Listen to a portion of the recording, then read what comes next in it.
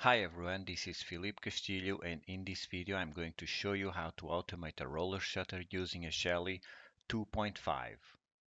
First things first, you'll need a Shelly 2.5 as you can see here and these are the set of tools we'll be using to automate our roller shutter. These are the buttons that control the roller shutter. It has two buttons, one for up and one for down. Only one button can be active at the same time. Before starting installing the device, ensure that the grid is powered off. Turn down the circuit breakers. Then remove the switch covers.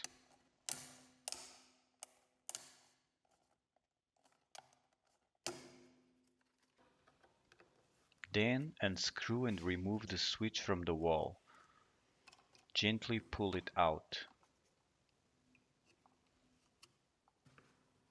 Here you can see the up, down and line wires that we will remove from the switch and connect to the Shelly.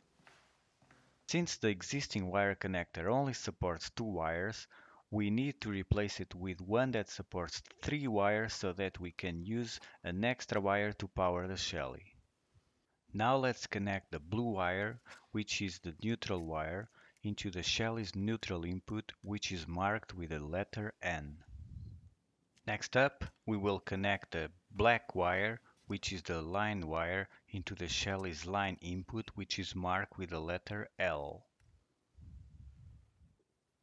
Now it's time to detach the roller shutter up and down wires from the wall switch and connect them to the Shelly. This procedure can sometimes be complicated. These wires will need to go into the O1 output 1 and O2 output 2 Shelly inputs. In this case, we will connect the black wire to the O2 and the brown wire into the O1 Shelly input.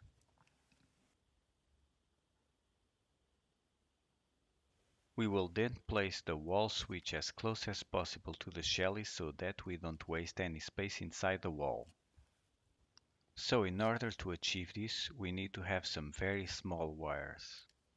Then we connect these wires to the wall switch. Afterwards, we will connect them to the Shelly. The L wire goes to the Shelly L input. This wire will go to the Shelly switch 2 input. And finally, this wire will go to the Shelly switch 1 input.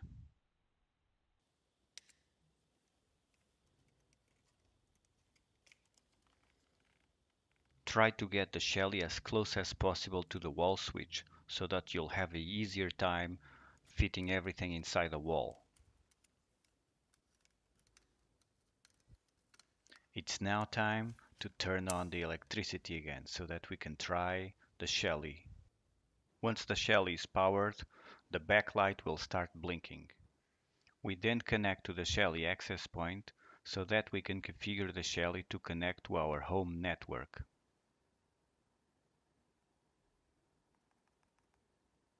Once that happens, the Shelly application will automatically discover the new Shelly device. Then tap to add the new device. Give it a name. Select a room. Select a picture and save. Connect it to the cloud if you want to be able to remote control your Shelly device. Switch to roller shutter and that's it. We're ready to open and close our shutters. I hope you enjoyed the video and found it useful. If you have any questions put on the comments below or check out the Shelly support group on Facebook. You can find all links in the description below. Thanks for watching